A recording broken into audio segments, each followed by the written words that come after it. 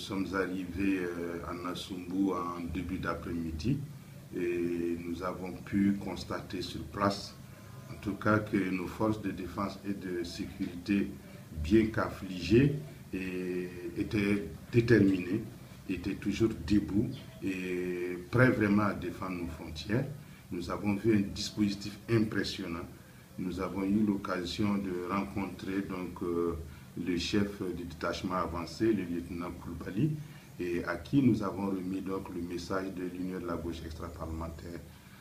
Il a pu nous rassurer que lui et ses hommes sont touchés par notre démarche et qu'ils sont plus que jamais déterminés à combattre le terrorisme malgré euh, la, récente attaque et toutes les autres qu'ils ont dû subir.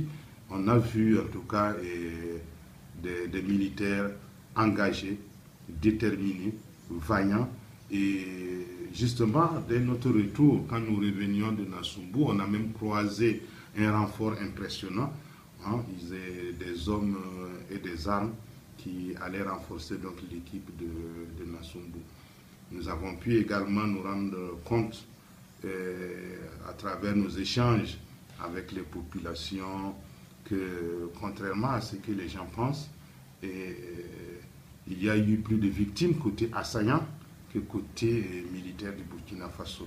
Vous savez très bien que les populations sahéliennes vont à la fois au Mali, au Niger et au Burkina.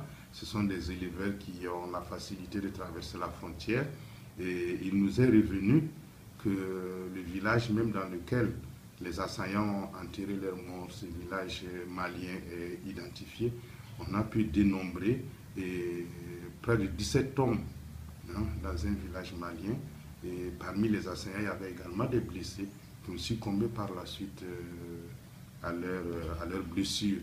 Donc euh, il faut dire que les miens, sont, les nôtres se sont battus avec détermination et que euh, c'est juste peut-être pour des raisons de, communication que ceux qui ont revendiqué l'attaque disent qu'il y a eu moins de morts parmi, les, parmi eux. Sinon, il nous revient qu'il y a eu plus de victimes côté assaillant.